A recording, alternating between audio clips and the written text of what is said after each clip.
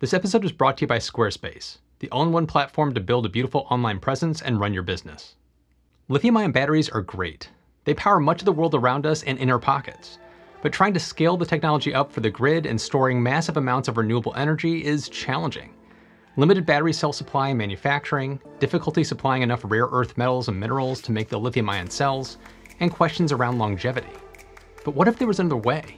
A method that used air to store energy. This could change everything. I'm Matt Ferrell. Welcome to Undecided.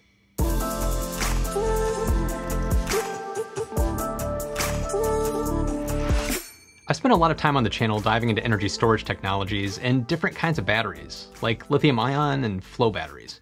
They're absolutely essential to making renewable energy work as our primary energy source. Without energy storage, we're wasting vast amounts of energy and energy potential. When we can't use all of the energy that solar and wind are generating at the time they're making it, we actually have to turn those systems off. It's called curtailment. When you see wind farms with turbines that aren't turning, that's why. But before we get to how air might be able to solve this energy storage problem, I can hear you already. but what about lithium ion batteries? Well, we're seeing lithium ion batteries installations starting to pop up all over the place. One of the more notable examples is Tesla's Hornsdale Power Reserve, which was recently expanded by 50 megawatts. It's helped to improve the electrical system's resilience and reduce the cost of frequency controlled ancillary services by about $116 million in 2019 alone. But so far, these battery systems are designed for two to four hours of energy storage. Solar and wind are some of the cheapest methods of generating electricity today at around $40 and $29 per megawatt hour, respectively. But when you add in lithium ion battery storage to solar or wind and calculate the cost, it's around $150 per megawatt hour for four hours of energy discharge capability.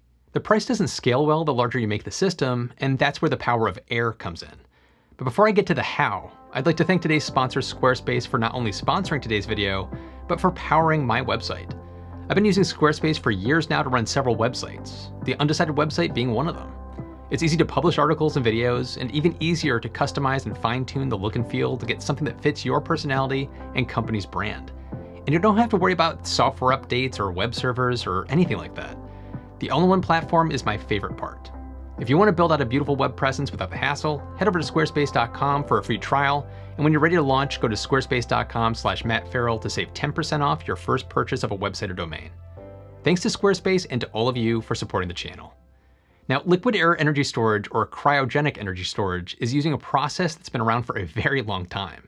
The basic principle is very simple using energy to compress air down to a small space, and when you need energy, you release that air, letting it expand and turn a turbine to generate electricity on the way back out. It's not that different from pumped hydro storage. The big difference is that you aren't limited by geography because you can build these anywhere. And there's far less impact on the environment since you're not redirecting water and building out massive facilities. I had a chance to chat with the CEO of Highview Power, a company that's specializing in cryogenic energy storage, sometimes called liquid air batteries what Highview Power has been doing the, during the the first 15 years of life, the company is, is close to 16 years old, uh, has been to develop a technology that is integrating processes that are very well known, uh, like liquefaction of gas. So what we are doing is liquefying air, I mean taking the air that we are breathing and storing the energy in by the means of, of, of an a fluid.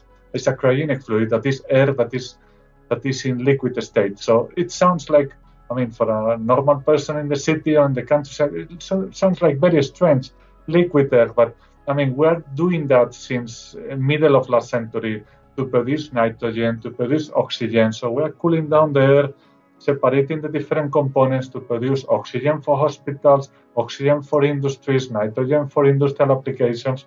And, and we are using that engineering to store energy. The process takes the air in around us, cleans and dries it, and then cools it down to negative 196 degrees Celsius, which shrinks the volume by a factor of 700 times. That means you're taking 700 liters of ambient air and freezing it down to 1 liter of liquid air. This liquefaction process has been around for 100 years and is known as the Claude cycle for the French inventor Georges Claude. And fun fact, he also invented neon lights by using neon that was a byproduct of his air liquefaction process. When you freeze air into a liquid, you aren't storing high pressure air because it's frozen. So you're storing frozen air in insulated, low pressure vessels. Warming the air back up and releasing it through a turbine generates the electricity. The energy efficiency of this process on its own, the energy in versus the energy out, it isn't that great. According to the Institute of Mechanical Engineers, the process can be as low as 25% efficient, a far cry from a lithium ion battery that's between 80 and 90% efficient. But that's not the whole story with these systems.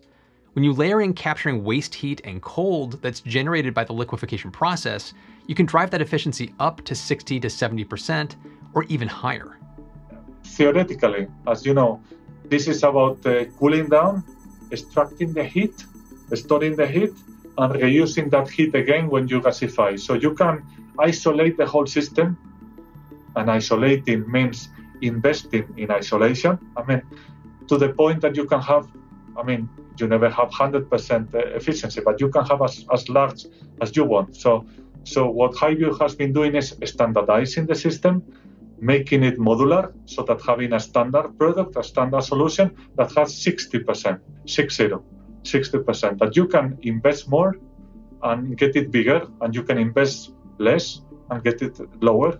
And, and I like to highlight that the, the pump hydros and the, and the plants are in that 50 to 60 to 70% efficiency of the whole system. To break down how this works for Highview Power's facility, they capture the waste cold that comes out from the thawing process when releasing the air. The cold is then reused during the next cycle's freezing process with new air. In the same vein, they're capturing the waste heat from the freezing stage to reuse during the thawing stage. When repurposing waste heat and cold like this, you can pretty much design and scale the efficiency to fit your needs. But as Javier pointed out to me in our conversation, that's not the thing to necessarily focus on again, you can really invest in the efficiency, but normally what you're going to uh, look in, because at the end is all, do you look at efficiency or do you look at dollars per megawatt hour? I, I, I can tell you that I don't know one single person that will look will prefer more efficiency at a higher dollar per megawatt hour. At the end, the efficiency is in the formula calculating the dollar per megawatt hour. So, so how many megawatt hour do I get? at what cost? And you are including the efficiency inside. So, so you will invest more in adding more tanks, on having a bigger uh, charge station or a bigger discharge station, and you can really make your charging station bigger or smaller modularly. So you can have 50 megawatts, but tomorrow you want to have 100, you just add another module and, and get benefits from economies of scale. The same with the discharge but especially with the storage asset.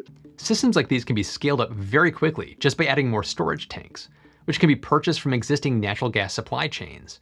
All of the major components of a liquid air energy storage are built off of components that are readily available. And the larger the system gets, the lower per megawatt hour price gets, something that can't be said of lithium ion. But lithium ion batteries are great at responding to energy needs within milliseconds. They're excellent for rapid response and fluctuations in energy use, which, like in the case of the Hornsdale Power Reserve, can save huge amounts of money. Cryogenic energy storage hits the sweet spot at a large scale. When you need 4, 6, 12, or even 24 hours of energy storage, then cryogenic air brings in the value. If you look at where the sweet spot is for the major energy storage systems available today, you'll find lithium ion in the 10 to 100 megawatt range and between 2 to 4 hours of storage. Right above that, you have flow batteries, which I've done a separate video on if you're interested. I'll include a link in the description. Now, flow batteries have a lower specific energy than lithium ion, but are more scalable since you can easily increase the size of the fluid storage tanks. While the power capability is slightly smaller, they're more than capable of handling 4 to 12 hours of energy storage. Pumped hydro is the big kid on the block. Being able to easily store 1 gigawatt of power and offering a full day of energy storage. The Bath County Pump Storage Station in Virginia is a 3 gigawatt facility with 24 gigawatt hours of capacity. It's absolutely massive. But like I said earlier, that's highly dependent on geography for a storage system of that size. With liquid air, you can build a facility anywhere on a relatively small plot of land and have a system that can scale up to pumped hydro's energy capabilities. Given its versatility, you'd think that this is the ideal solution across the board. But it's not. You're not going to have a liquid air powered smartphone. The system really requires scale, and it's not as nimble in energy responsiveness as lithium-ion batteries. In fact, Highview Power doesn't see this as a choice between lithium-ion and cryogenic air storage. I would say that uh, brothers and sisters, we are the we're like the big brother, tall and, and fat, and the other ones are the very fast ones, that quick ones. For us, the competition is to continue doing the same policy, is uh, burning fa- burning gas, combustion, open cycle gas turbines, uh, gas engines, gas turbines, combined cycles, burning stuff to provide power. That's that's the competition of this. It's all about picking the right tool for the job and figuring out what the right mix is for the given area's needs. But when you're talking about a grid scale energy needs that are over four hours, liquid air batteries make a very persuasive argument for themselves. Which leads me to my last point about availability. When are we going to start seeing these out in the world? Well, they're actually already here and coming fast, like within the next few years fast.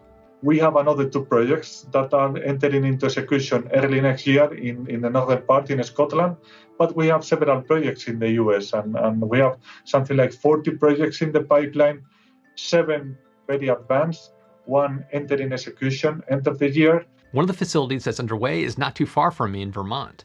They're partnered with Vermont based Encore Renewable Energy to build out a 50 megawatt, 400 megawatt hour, or about 8 hours of energy storage system, which will help with curtailment issues in the area.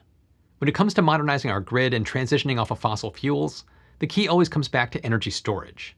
Without being able to store energy generated by renewables from the time it's generated to when we actually need it, it won't matter how cheap solar and wind actually get. There's a mix of technologies that are needed to solve this problem, and the deceivingly simple liquid air battery is lining itself up to be a major part of that solution. The more I learned about it, the more I kept thinking, why haven't we done this sooner? It's such a clever idea built from some tried and true technologies that have been around for a very long time. There's no cutting edge chemistry we need to wait for to make it viable, and it's taking advantage of what's right in front of us, or actually more all around us. So what's your take? Jump in the comments and let me know what you think about cryogenic batteries. And as always, a special thank to all my patrons. All of your support is really helping to make this possible. If you like this video, be sure to check out one of the ones I have linked to right here, and be sure to subscribe if you think I've earned it. And as always, thanks so much for watching. I'll see you in the next one.